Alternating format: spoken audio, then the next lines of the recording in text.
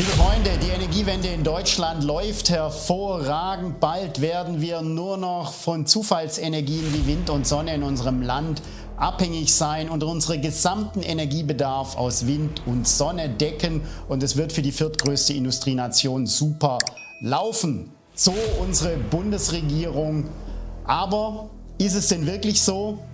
Naja, die Bundesregierung selber, nämlich die Bundesnetzagentur, hat uns vor ein paar Tagen bei einer letzten Beiratssitzung ihre neue Internetseite smart.de vorgestellt, auf der jeder Bürger zu jedem Zeitpunkt sehen kann, wie viel Energie in Deutschland erzeugt wird und wie viel verbraucht wird. Und wenn man sich diese Statistiken anschaut, werden Sie feststellen, dass wir fast immer eine Unterdeckung haben, dass wir eigentlich immer so 10, 15, 20 Gigawatt Strom zu wenig erzeugen für unseren eigenen Bedarf. Und wenn dann mal der seltene Fall wie beispielsweise heute auftritt, dass wir mehr produzieren, wie zum Beispiel hier, dann sehen wir plötzlich Negativpreise. Dann wird nämlich das wahr, was immer gesagt wird, der billigste Strom ist nämlich die Windenergie aus Norddeutschland, so wie es die Regierung sagt. Ja, die ist so billig, dass sie Negativpreise hat, aber das Problem ist, dass wir diejenigen sind, die diesen Strom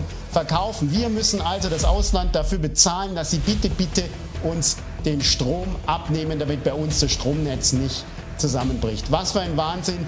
Machen Sie sich selber Ihr Bild auf smart.de und sehen Sie den Wahnsinn der Ampel-Energiewende. Lassen Sie uns diesen Wahnsinn gemeinsam stoppen.